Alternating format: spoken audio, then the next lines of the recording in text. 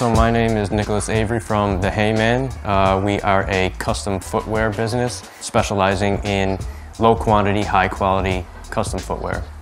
Uh, Lineapelle has just opened my mind to so many different uh, things that we can use and, and ways that um, uh, new resources in order to be able to create really awesome footwear, really awesome uh, art projects. Today is our first fashion show. Uh, we're, we are showcasing most of our collection, a lot of the stuff that we've done over the past couple of years, as uh, a small section of breaking down the process of customization from start to finish, from deconstruction through reconstruction.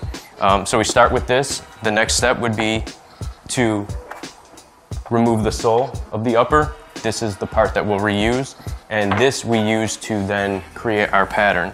This is the beginning of the deconstruction process, separating the back from the front. And then all the way right here, you can see a shoe that has been completely taken apart. Every single piece has been separated. And from here, we're able to make a pattern. It's uh, almost finished. It's at its back and front.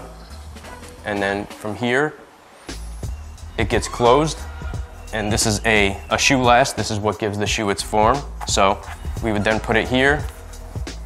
This is what you're left with after it's lasted. It's nailed down, it's glued to the bottom. All of these uh, lips right here, they get skived down flush so that the sole can then be put on. And then you're left with the final product.